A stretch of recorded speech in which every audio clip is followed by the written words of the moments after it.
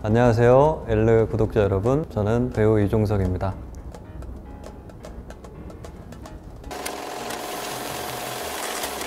굉장히 오랜만에 화보 촬영인 것 같은데 사진 결과물이 너무 잘 나와가지고 너무 뿌듯한 하루랄까?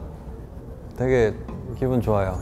어, 옷들이 다 약간 소화할 수 있을까 싶은 착장들이었는데 대체로 다 좋았던 것 같아요. 코트들도 다 예뻤었던 것 같고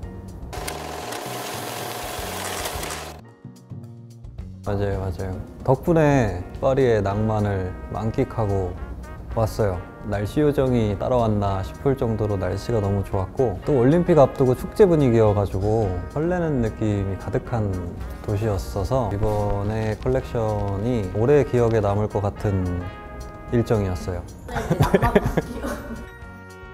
아, 네, 네. 아, 할 수 있다. 네, 할수 있다. 네.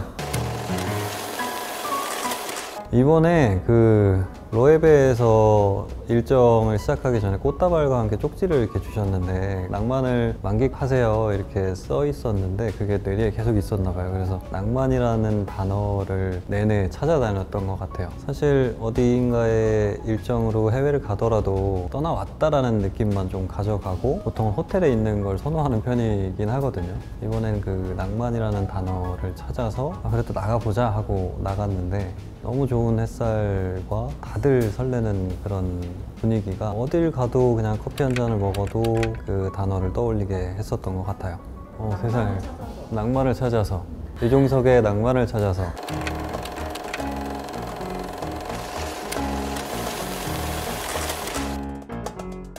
어, 특별히 응원하는 종목은 없는데 이 시즌이 되면 괜시리 설레고 두근두근 하잖아요. 그래서 모든 종목에서 좀 좋은 결과가 있기를 바라는 마음입니다.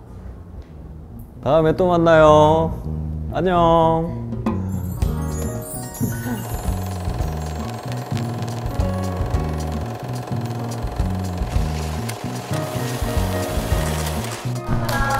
어, 땀, 땀이, 땀이 나네.